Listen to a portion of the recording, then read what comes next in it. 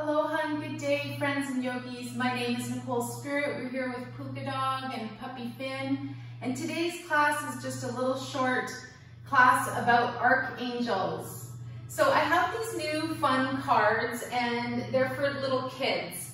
And I picked one for us today.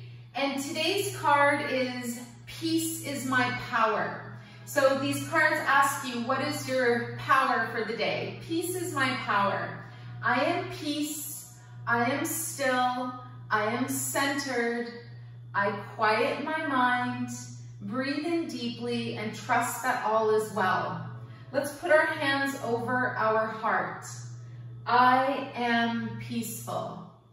If you didn't say it with me, repeat it again now. And then it asks the question, can you remember a time when you were calm and peaceful? How did it make you feel? I love these cards for little kids because the little kid in me absolutely adores figuring that out. So wherever you are, whether you're seated or lying down, I'm going to pick us an Archangel card from Diana Cooper's Archangel Oracle cards. Perfect card for us today. Archangel Jeremiel, learn from your challenges, relax and trust. Learn from your challenges, relax and trust. And this makes me think of when we have a problem or something going on and how we get to learn to trust that our greatest challenge or issue going on in life is perhaps our biggest gift at the moment. So if you have any rose quartz, you can bring it close to you now. You can have it on the mat with you. You can bring it into your hands, place it somewhere on your body. And we're gonna begin today's physical practice or asana posture practice, seated cross-legged. So wherever you feel like the rose quartz should or can go, place it down somewhere you can see it. And if you don't have any rose quartz, that's fine. But my crystal switch went off a long, long time ago, so there's a lot of crystals around in this yoga space and in this home. So let's bring our hands onto the knees and I just want you to use your imagination that you're sitting on a giant, beautiful rose quartz pad or lotus or flower, that there's all these beautiful sparkling pink crystal gems all around you. They're soft and they're smooth. And it could even feel like it's like rippling pink water in the sunrise. And for now, just root and anchor down and imagine that you are the flower coming out of this beautiful pond of water. We'll bring our hands together to make a lotus. So you bring your wrists together you bring your baby finger together and your thumbs, and we're gonna just rest this lotus at our heart for a moment. Today we might learn or practice the mantra, Om Mani Padme Hum. Om Mani Padme Hum.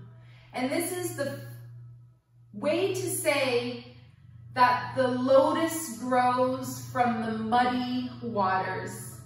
And a faster way to say that is no mud, no lotus. So we think about this beautiful energy of our life, the good and the bad and the hard stuff and the good stuff, or the challenges and the successes and triumphs. And we think about each triumph, each success, like a flower that's bloomed from perhaps dirt or muddy waters Let's place this beautiful lotus on our crown chakra for one moment and connect with the heavens, connect with the divine. The true meaning of the word yoga is to connect with the divine within yourself and then connect with the divine within everyone else. Beautiful.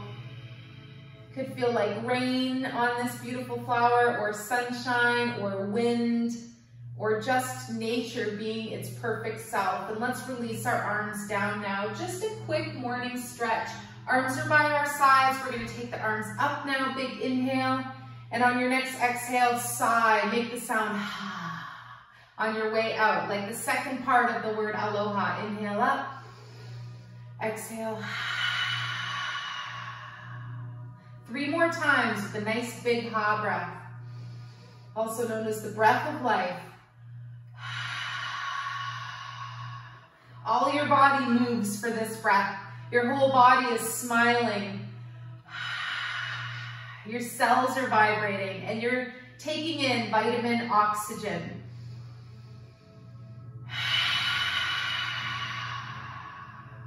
Wonderful. We're just gonna do a quick side to side stretch. Bring your right hand to the floor, left arm up and over. Good, and then go the other way. Right arm up and over. Let's do that two more times on each side. Close your eyes perhaps. Just get into a little swaying motion with your spine. And then we're gonna come back upright. We're gonna twist to the left, stretch your arms and one in front, one behind you. Nice tall spine, but sink your shoulders down, look over your shoulder a little bit. Good, and then reach the arms up to come back to center, big inhale. And then exhale, do the other side. Twist to the right, left arm reaches straight out in front, right arm behind you. Sink your shoulders down, keep your spine tall. Maybe the smile is on your face. Maybe you feel a gentle shake and vibration in the body. Big inhale, breath, come back up. Good, and then exhale and we'll float the hands to the heart. Wonderful. Let's come off of our seat. We're gonna arrive on our hands and our knees and curl the toes under and let's gently bring the hips up like a downward dog, pardon me. But we're gonna walk our hands back to our feet, our feet up to our hands and just dangle, let your head be below your heart. You can straighten the knees just a little bit more. And here's a wonderful place to do a spinal twist. Right hand on the ground, left arm reaches up. Maybe you straighten your left leg just a little bit more. Maybe you wiggle your fingers. Touch the angels, the archangels, come down. And then left hand arrives on the floor and we twist up to the right. Straighten your right leg just a little bit more. Your right arm up to the sky. Find that smile. Keep your breath smooth and deep. And then we'll gently lower that arm back to the floor. Let's come up to standing. Roll your body up mindfully, gently. And as you arrive in your Tadasana, be in this mountain pose. Be proud, be strong. Hmm. Admire my pig with wings and know that you too can do anything. I love the Audrey Hepburn saying that the word impossible by virtue of cutting it up means I'm possible. All right, last thing we're gonna do is just a forward and back bend. So take your arms out at the sides, inhale, float forwards, exhale, up and gently back. You don't have to do very much of a back bend. This is called swaying tree. And if you feel like this is too much and you don't want to move, you can just leave your hands at your low back and you can just do a little back bend. This is my Tamara, my palm tree. Good. And then come back up to standing. We're gonna release our arms by our sides and we'll finish off opening the door of life, knocking on heaven's door. So keep your arms by your sides, knees a little bit bent, and we're just gonna start to twist from side to side. Smile, soften your face, and if it feels right, I want you to ask for a sign from the angels today. This could be it, your Yoga with Nicole spirit. I would like to send you a miracle. I would like to send you an angel today. And from one of my favorite books of all time, Angels in My Hair by Lorna Byrne, she teaches you how to connect with your own guardian angel. And she's written many lovely books on her experience seeing other people's angels. And basically, the angels can't help you unless you ask. You must ask for their help. Good. So this is wonderful because you're stimulating the door of life at your low back, and you're also stimulating the front of your energy center, your crystal energy center at the front of your body. Slow it down, slow it down, slow it down. Good, and come back to standing. If you have a crystal close by or your rose quartz is near, you can pick it up again. If not, just imagine your crystal that you're bringing to your belly.